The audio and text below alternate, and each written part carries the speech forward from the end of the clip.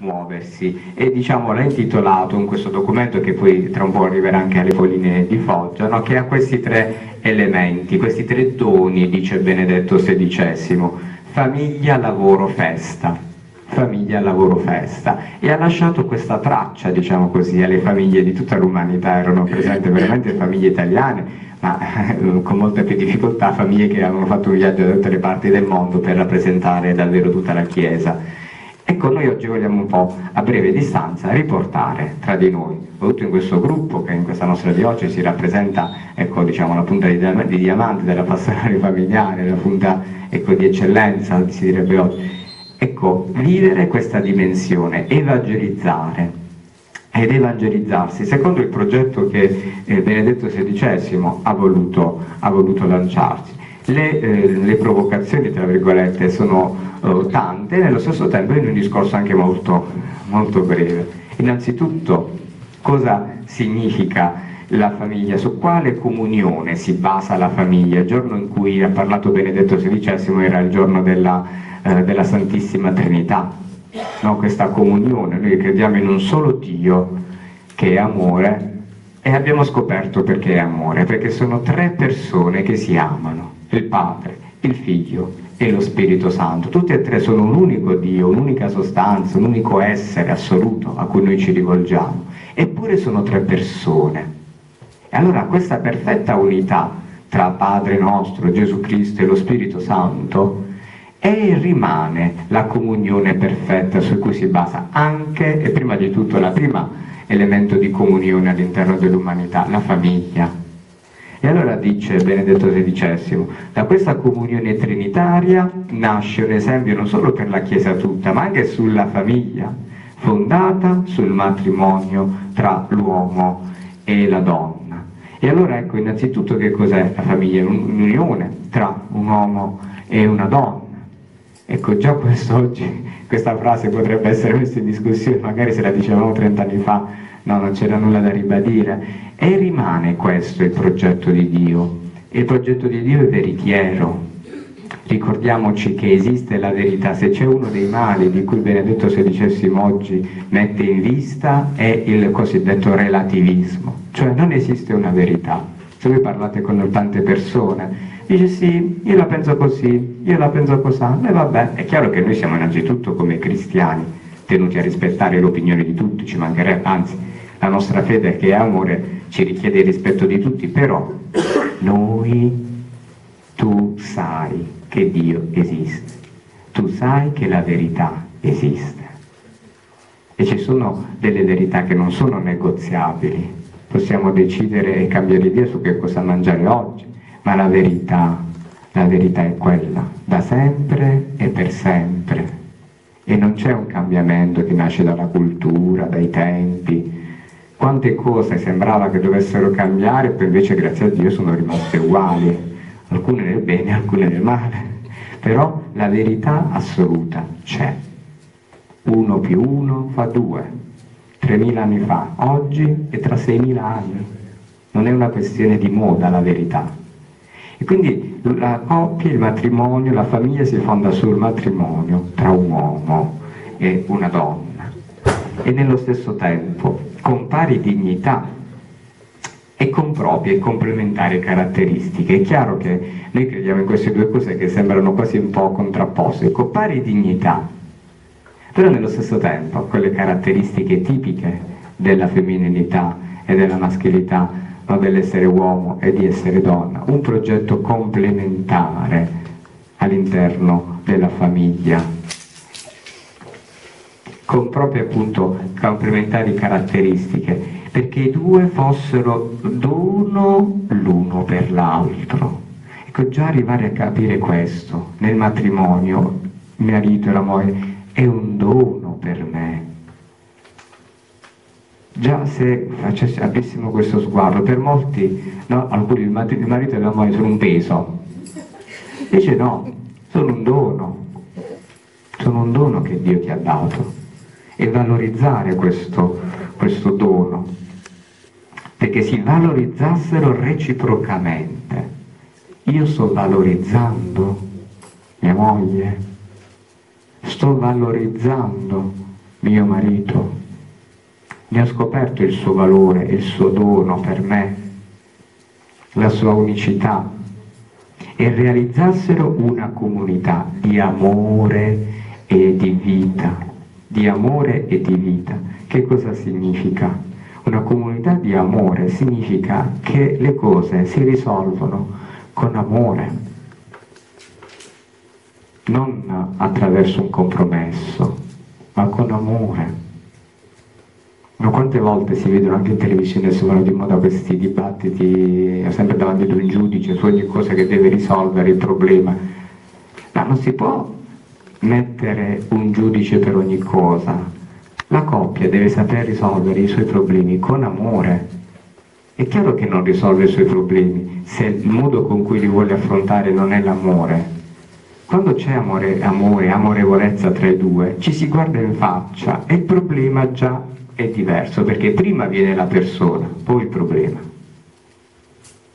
Io prima scopro e mi ricordo e faccio memoria dell'amore che ho verso quella persona e dopo affrontiamo insieme il problema. Allora ecco che sia una comunione d'amore. Sapete risolvere i vostri problemi con amore? No, allora come avete fatto a sposarvi? Come avete fatto ad innamorarvi se non c'era l'amore tra voi due? La prima domanda che io vi chiedo quando siete venuti liberamente per amore davanti alla Chiesa? Sì, sì. È così, no? Per amore, perché se non c'è l'amore di fondo non c'è la capacità di affrontarsi e di risolvere i problemi. Che sia una comunione d'amore e di vita, dice Benedetto XVI. Di amore e di vita. Che cosa significa? Che ci sia vita.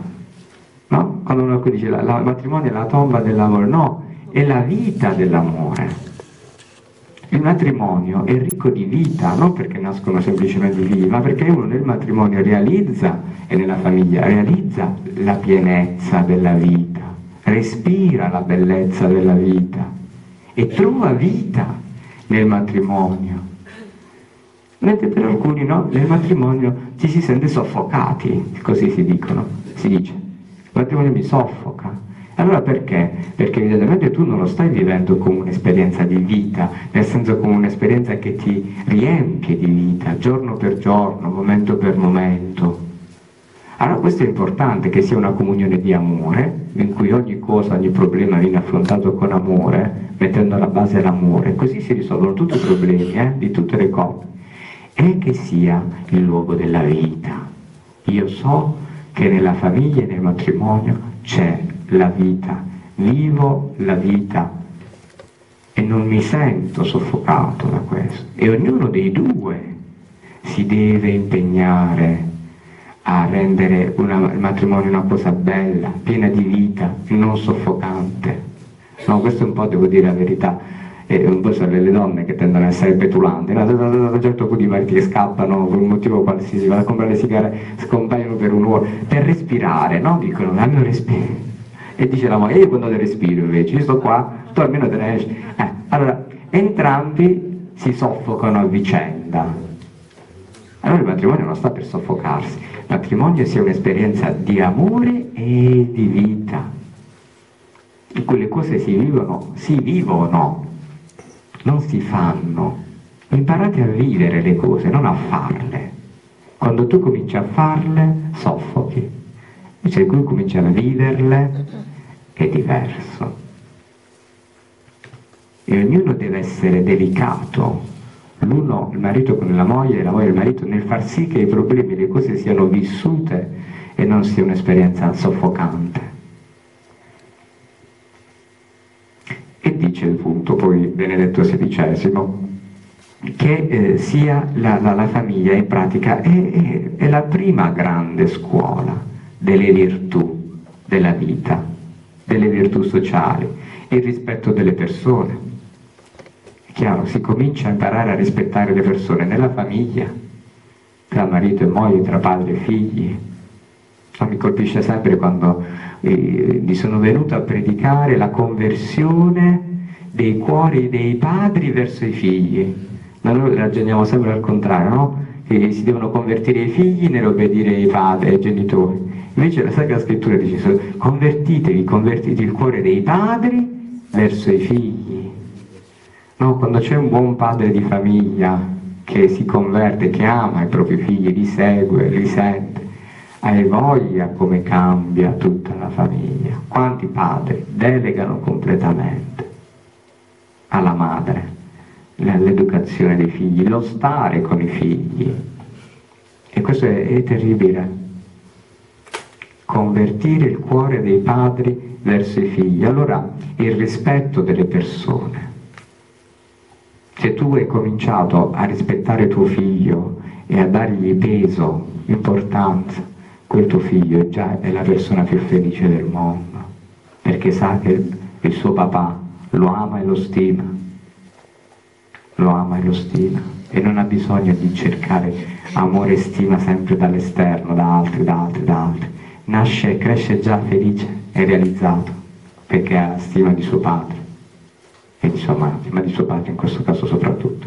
La gratuità, il fare le, la scuola di virtù sociali iniziando di gratuità, fare le cose senza un tornaconto, di fiducia, perché si acquista la fiducia e si impara ad avere e a dare fiducia, di responsabilità, perché ci si chiede eh, di essere responsabili nelle singole cose. Quante, quante coppie, a volte veramente famiglie in genere, eh, crollano quando si accorgono, l'altro si accorgono che tu, uno dei due è molto responsabile di tutto e l'altro se ne infischia, diciamo noi. Allora dov'è la responsabilità? E si perde stima l'uno dell'altro allora tu non sei responsabile come me, non ti senti responsabile come me di tutto quello che sta accadendo, di solidarietà e di cooperazione. E poi dice, il progetto di Dio sulla coppia umana trova la sua pienezza in Gesù Cristo che ha elevato il matrimonio a sacramento. E quindi il nostro sguardo è chiaro che va sulla figura di, di, di famiglia cristiana per eccellenza che è la Sacra Famiglia, Giuseppe, Maria e Gesù. Mm? Giuseppe, Maria e Gesù. E la preghiera, la preghiera è ciò che fa sì che una famiglia abbia il suo rapporto con Dio. E allora, che tipo di preghiera? Noi sappiamo benissimo che la, la, la preghiera fondamentale che unisce tutta l'umanità cristiana è la liturgia delle ore, erodi, i vespi, eccetera, tutto quanto, no? noi facciamo anche noi eh, ministri, abbiamo fatto proprio tra le tante obbedienze, l'obbedienza della liturgia delle lodi, quindi le lodi, la liturgia, l'ufficio delle letture con le letture a parte, oltre a quelle della messa. Poi l'ora media, i vespri, la compieta, noi abbiamo 5 ore, tra virgolette obbligatorie, al giorno, però ci rimettono ogni nostro momento della giornata di fronte a Dio cosa fare. Chiaro che non si può pretendere che una famiglia cristiana faccia tutto questo, sa, si sa che questo è l'obiettivo, la perfezione, diciamo così. Vivere un momento di preghiera insieme, nei momenti forti, è chiaro che questo rimette di fronte a Dio. Come fare? Io ad ogni coppia non do mai una, una soluzione, ecco, questa è la soluzione. No, ogni coppia trova, deve trovare la sua sintesi devi trovare i tuoi tempi, è chiaro, una cosa è essere in pensione, una cosa è essere tutti e due che lavorano, cioè ci sono dinamiche diverse all'interno di ogni coppia, che è completamente differente, è anche il compito del padre spirituale, ascoltare, capire le esigenze vedere come e quando la coppia può pregare. Vero, c'è un momento secondo me che è anche forse il più breve di tutti, che rimane il momento di preghiera più importante e più evangelizzante, è la preghiera ai pasti è brevissima. Eppure in quel momento tutta la famiglia e i figli e il marito e la moglie e ognuno che si trova in quella casa capisce che quello che c'ha davanti viene da Dio. Bastano poche parole. Però quella preghiera non deve mancare mai. La preghiera è basta. Perché lì che si capisce, si evangelizza e ci si rende conto che non solo quel piatto che hai davanti, ma anche l'aria che stai respirando in questo momento ti viene da Dio, che ogni cosa ti viene da Dio e ritornerà a Dio. Cioè fa capire, al di là della benedizione sul, sul cibo, fa capire che veramente ogni cosa che noi abbiamo viene da Dio e a Dio ritornerà, e compreso noi, e ci mette in un atteggiamento di gratitudine, ci mette in un atteggiamento di chi sa che passano le cose di questo mondo e non conta sulle cose di questo mondo. Ma avete visto nel terremoto come in ogni terremoto delle mie? Quanta gente dice qui c'era tutta la mia vita, in questa casa no! No, la tua vita è molto di più di una casa, di una macchina o di qualsiasi altra cosa. Passano le cose di questo mondo, perché guardate i terremoti comunque Dio lo sa che vengono. Eppure, no, come un ladro di notte, ci avete fatto caso che i terremoti ti rimandano sempre di notte. E poi, è per far capire alla gente, vedete, tu che cosa hai contato, solo che cosa stai costruendo, le cose materiali, ma lo sai che tutto passa. E Dio rimane. Allora quella preghiera sul cibo che fai nei vari pasti riporta immediatamente te, i tuoi figli, la tua famiglia, a capire che è da Dio che viene ogni cosa e nello stesso tempo Dio potrebbe farcela mancare. Quindi ringraziarlo ogni giorno delle cose che abbiamo e nello stesso tempo renderci conto che tutte queste cose sulla faccia della terra passano e che molte persone vivono, anche molte che non vanno a messa, che non sono cristiane, come se veramente Dio fosse un optional. Non si rendono conto che tutto quello che hanno e dalla mattina alla sera viene da Dio e che Dio glieli può togliere da un momento all'altro e, e comunque a un certo punto glieli toglierà, sicuro per tutti. E che cosa rimarrà da quella vita? Nulla certamente, è che una tomba eh, nell'eternità ci portiamo le cose materiali, anzi piuttosto saranno delle zavorre. Allora la preghiera è con questo tipo di, di logica che sta tutto dietro. E poi ogni famiglia, tempi forti, non tempi forti, chi ha più tempo, chi non ha più tempo, in base a tutto qua, deve trovare la sua ricetta di preghiera, tutta singola da trovare con le proprie parti spirituali naturalmente. E naturalmente cosa dice poi? Mantenere un costante rapporto con Dio, preghiera o non preghiera, mantenere un, un, un costante rapporto con Dio, come? Partecipando alla vita ecclesiale, se ti estranei della Chiesa, è chiaro che il tuo rapporto con Dio si indebolisce, è automatico, perché stacchi il ramo dalla, dalla pianta. Voi siete come la vite tralce, vi staccate dalla Chiesa, vi staccate da me. Ed è così regolarmente. Coltivare il dialogo. Quando finisce il dialogo finisce tutto, eh, signori, nella coppia, nella vita, nella società.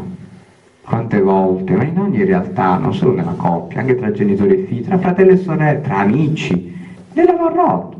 Quando crolla il dialogo crolla tutto. No, ma perché io ti ho guardato così e, e, e tu dovevi capire in base a come ti ho guardato. Eeeh! Quelli due occhi sono, due, tre o quattro espressioni abbiamo. Mica siamo animali, grazie a Dio abbiamo la parola. Allora io capisco cosa tu stai pensando, sai come? Non guardandoti negli occhi, ma chiedendo come stai, cos'è, com'è, perché allora lo so. Ma se io devo intuire, sì, può darsi che intuisca, ma potrei capire fischi per fiaschi. Se non si dialoga, cade tutto. Voi sapete quello che penso se io te lo dico. Io quando voglio sapere una cosa da una persona, chissà cosa pensa, vado a quella persona e glielo chiedo. Lo so. È semplice. È la cosa più semplice. Così se no si rompono le amicizie, le cose, e a volte, molto spesso, non c'è dialogo tra marito e moglie. È, è, è orribile. Rispettare il punto di vista dell'altro l'altro ha un punto di vista diverso, ma proprio fisicamente, tu stai là, tu stai là, tu hai una visuale e io ne ho un'altra, ma non diventa un modo per litigare, perché il tuo punto di vista ti fa vedere la stanza da un modo, il mio punto di vista me ne fa vedere un altro, insieme sappiamo come...